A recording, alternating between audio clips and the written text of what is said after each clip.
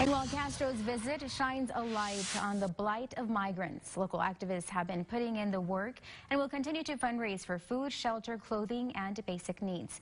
They gathered near the Gateway International Bridge to urge change and protection for migrants, especially those who are part of the LGBTQ community. They're hoping Castro's influence can help. I guess not only urgency, but emotion because these people are living in very real fear of their lives. And so I just, you know, hopefully something positive comes out of today and um, hopefully him being here helps uh, make something happen for them.